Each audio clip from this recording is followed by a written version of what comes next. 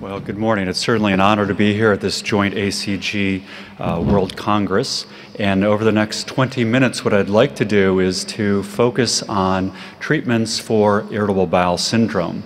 Our objectives will be to quickly review the definition of IBS. I'd like to pique your interest a little bit about how we manage IBS, at least in North America, and then I'll focus mostly on treatment options for your patients with IBS and diarrhea and IBS with constipation.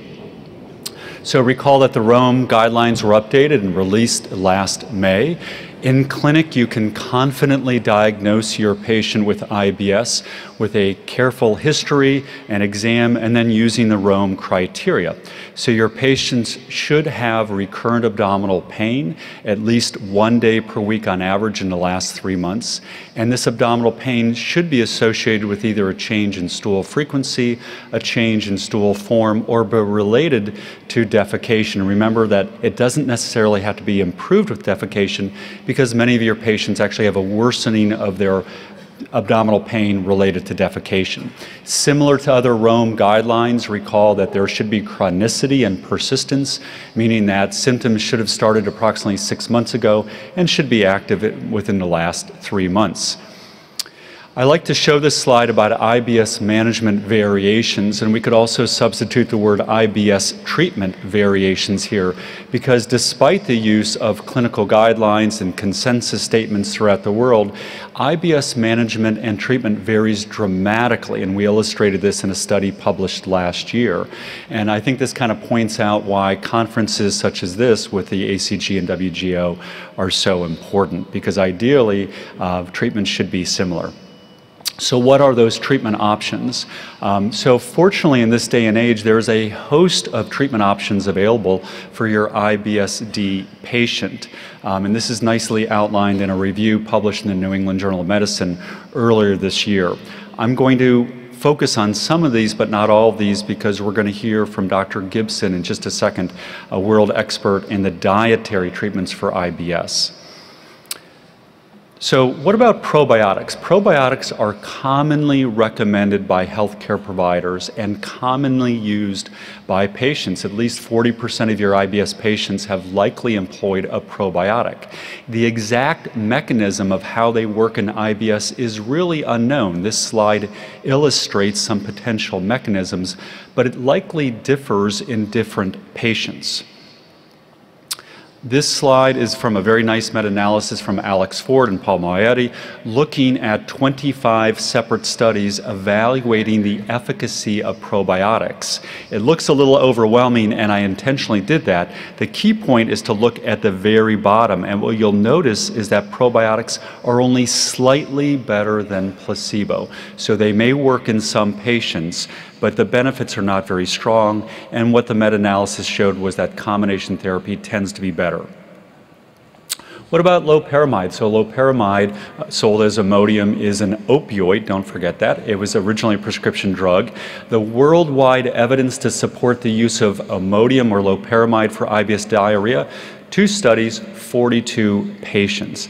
Prescribers commonly use this medication because generally it's safe, it's over the counter, and it does help diarrhea, but it does nothing for abdominal pain in your IBS patients and nothing for bloating. And don't forget, those are the two most important symptoms your patients bring to the table when they want to see you. What about diphenoxylate atropine? So this is a synthetic opioid agonist combined with atropine, diphenoxylate combined with atropine to minimize abuse. Again, many providers like to use this if loperamide fails. However, despite being available for 57 years, there are no studies in IBS patients. And generally, although it may help diarrhea to some extent, once again, it does nothing for abdominal pain or for bloating. So let's move on. What about smooth muscle antispasmodics? In 2014, 2.5 million prescriptions were written for dicyclomine in the US alone. So these are widely used. This is a very nice meta analysis from Alex Ford and colleagues, published three years ago in the American Journal of Gastroenterology, looking at 23 randomized controlled trials involving 12 different antispasmodics.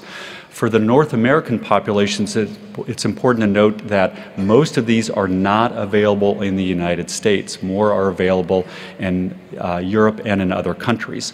That said, when compared to placebo, it did seem to provide some benefit for abdominal pain, and many providers use this for the spasms and cramps associated with IBS.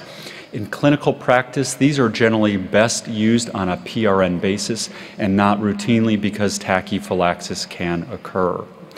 What about rifaximin? I think we're all pretty comfortable now using rifaximin. Remember that this is a gut directed antibiotic, very little systemic absorption. Um, early studies used 400 milligrams twice daily, but the larger and more recent studies used 550 milligrams three times daily. This slide illustrates the nice data from Mark Pimentel and colleagues published in 2011, uh, looking at the Target 1 and Target 2 studies involving nearly 1,300 patients in a placebo randomized controlled study, showing that patients randomized to rifaximin who had IBS without constipation, most had IBS with diarrhea, some were IBS with mixed, had a more global improvement compared to those randomized to placebo, a difference of about 41% versus 32%, so a therapeutic gain of about 9%. And if you looked at individual symptoms such as bloating, it was about a 9% improvement as well. So this slide illustrates the efficacy of this medication, but the FDA was somewhat concerned about safety because they knew that this medication was going to be used repeatedly to treat IBS symptoms, and so another trial uh, pursued. This study involved 2,400 patients, primarily with IBS and diarrhea. And it was an interesting study because remember, it was really designed for safety, not efficacy. This is a safety design study in conjunction with the FDA. And so, thus, up front, all patients received rifaximin at 550 milligrams three times a day for two weeks. Patients were then tracked and if symptoms recurred, they were subjected to either a retreatment with placebo once or twice or rifaximin once or twice. What are the interesting highlights from the study? The first is that about 46% of patients did not have a recurrence of their IBS symptoms over the next 18 weeks, showing that some patients with IBS and diarrhea, after one two week course of therapy, have a persistent improvement in their IBS symptoms. And this actually mimics the Target 1 and Target 2 data. But about uh, 36% of patients had persistent symptoms. Um, about 60% of patients who had a recurrence of symptoms. And these are the patients who entered the double-blind phase, going to either rifaximin or placebo. Okay. What was the data there? Showing that with either the first retreatment or the second retreatment, that generally if you were randomized to rifaximin, shown here in light green, you had a greater chance of improvement of either bloating and urgency and bowel habits. And so this is FDA approved in the United States for IBS and non-constipation. We've now, shifting gears, we've learned in the last decade that bile acid malabsorption may be a problem in about 20 to 25% of your IBSD patients, and bile acids are quite caustic. It stimulates the GI tract, causing diarrhea, urgency, and pain. Unfortunately, still in this day and age, we don't have a great test to measure bile acid malabsorption. There is a serologic test coming, and thus treatment is usually empiric using either cholestyramine or colesevelam, although clinically, these usually are not great drugs to improve the pain associated with IBS. What about alosetron? Many of us have forgotten this medication, which has now been on the market for over 15 years. This acts on the serotonin system. It's a 5-HT3 antagonist, and by binding to the 5-HT3 receptor, a number of studies have shown that this is, improves diarrhea, urgency, incontinence, and pain in IBS patients. This is approved by the FDA for IBS-D in women. Uh, the initial studies included men, but the, the studies were not powered enough to allow approval for men. And generally, it's for women who have failed standard therapy. What's standard therapy? It's Imodium. So this is eligible for most pa many patients with IBS and diarrhea. I generally start patients at a lower dose, 0.5 milligrams, and slowly increase to 1 milligram twice daily. Why? There is a slight chance of having your patient develop ischemic colitis. What's the number? One in a thousand. So you need to treat a thousand women in a row who have IBS and diarrhea with alosetron to potentially have one patient develop ischemic colitis. This is transient, it's self-limited, no downstream severe effects. Although 85 studies, and now maybe 86, have looked at alosetron pharmacokinetics, safety, efficacy, this slide shows the five largest randomized double-blind placebo-controlled studies involving hundreds of patients dating back over the last 20 years, showing the therapeutic gain range between 10 and 27 percent. Not bad numbers for your patients with persistent symptoms. Ondansetron is commonly used for nausea, but don't forget ondansetron is a 5-HT3 antagonist. And this is a very clever study from Peter Whorwell and colleagues in the UK looking at the use of ondansetron for IBSD patients. Rome 3 criteria, 120 patients. This is a placebo-controlled prospective study. It was a crossover study. And what's shown here is that those patients randomized to ondansetron, shown in black, were more likely to have an improvement in their bowel habits of diarrhea and urgency, but it did nothing for pain. And once again, pain is the most common reason your IBS patients come to see you in clinic. I think we're all comfortable now with a concept of visceral hypersensitivity in patients with IBS. That's a driving factor and a mechanism for their pain. And we also know that undertreated or untreated visceral hypersensitivity oftentimes drives central hypersensitivity. This is a meta-analysis from Alex Ford and others published three years ago in the American Journal of Gastroenterology looking at tricyclics. And I think there is now very good data for tricyclic antidepressants for the treatment of visceral pain and functional gastrointestinal disorders, especially IBS. Nine studies were reviewed, and consistently tricyclics did better than placebo with a number needed to treat of four. And this makes sense for your IBS and diarrhea patient because it not only treats their visceral pain, it treats central pain, it may improve depression to a slight degree, and there's also smooth muscle antispasmodic qualities. What about SSRIs? Fewer studies, but once again, SSRIs seem to improve pain in IBS patients. I believe it's better for central pain. So for your anxious or depressed patient, an SSRI may be a better choice, especially for your IBS with constipation patient, because at the onset, it may increase intestinal motility to a slight degree. Eluxadoline is kind of a new medication on the market approved by the FDA nearly two years ago. This is a unique mechanism of action. It's a mixed mu and kappa opioid receptor agonist with a delta opioid receptor antagonist quality. Now, why would they mix that? For a couple of reasons. One, this should provide pain relief in your IBSD patients, but it should not allow mu opioid agonist receptor desensitization. So pain relief should continue. In addition, although it should improve diarrhea symptoms, it shouldn't cause significant constipation. What's the data to support its use? So there are, two large randomized double-blind placebo-controlled studies, and to be a responder in these studies, you had to meet a very high bar of response, meaning that you had to have at least a 30% improvement in your abdominal pain during the study period, and you had to have a significant improvement in your diarrhea symptoms. These patients using the Bristol Stool Form Scale were at an average of about a 5.6 or more. Uh, remember, a 6 is very loose watery, nearly liquid stools. What's the data? So whether we, this was analyzed for weeks 1 through 12 for FDA approval or weeks 1 through 26 for EMA approval, uh, what this study, which was published in the New England Journal of Medicine last year, showed was that patients randomized to 75 milligrams twice daily of eluxadoline, shown here in yellow, were more likely to have an improvement in their IBSD symptoms than those randomized to placebo, shown here in this off, this tan color. And again, patients randomized at a higher dose, 100 milligrams twice daily, were again more likely to respond uh, for their IBSD symptoms. Now, of course, with any new medication, we want to make sure that the medication is safe, Brooks Cash performed a nice analysis of the three large published studies looking at over 2,800 IBSD patients, comparing placebo to either one of the two doses of eluxadoline. Not surprisingly, constipation was a little bit more common in patients treated with eluxadoline. Again, you're using a medication to help treat diarrhea. You're going to have some patients develop constipation. Nausea was also a little bit more common. In these 2,800 patients, 10 had apparent sphincter spasm, and interestingly, all of these occurred in patients who had had a prior cholecystectomy. I would adhere to the labeling guidelines. There were also some case reports of pancreatitis in the study and some since release.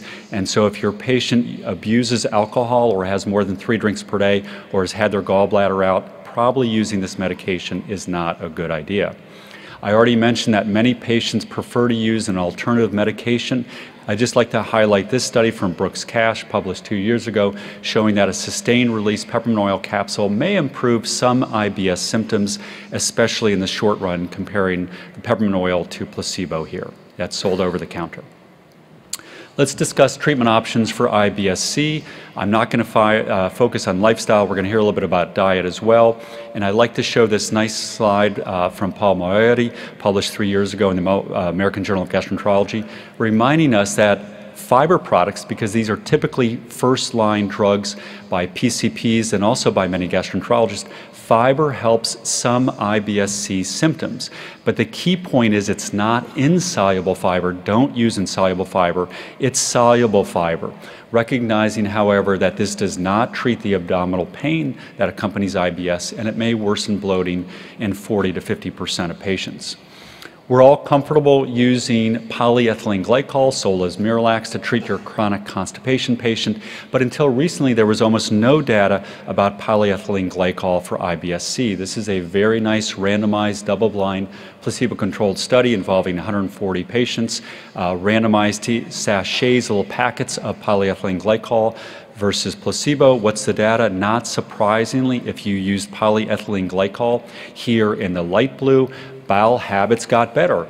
Uh, spontaneous bowel movements improved. But the key point here is no improvement in pain. This just emphasizes the fact that for your IBS-C patient, treating the constipation will likely, uh, with this drug, will not improve their pain. So what other options do we have? So we now have three separate intestinal secretagogues that stimulate fluid secretion in the gut. Don't forget lubiprostone was one of the first. This is a nice study from Doug Drossman published uh, eight years ago now. Uh, the pivotal trials involving eight milligrams, eight micrograms twice daily over a three-month period showing that patients randomized to lubiprostone, a type 2 chloride channel activator. Patients had a greater improvement in their IBS-C symptoms than those randomized to placebo. So a lot of data now over the last decade. What about linaclotide? Linaclotide is another intestinal secretagogue. It acts differently. This acts on the guanylate cyclase C receptor, and by stimulating that receptor, intestinal fluid secretion increases, leading to an increase in intestinal transit. Patients randomized to linaclotide here at 290 micrograms had a statistically significant improvement in bowel pattern, meaning improvement in complete spontaneous bowel movements compared to those randomized to placebo. And when you stop the drug, they went back to baseline.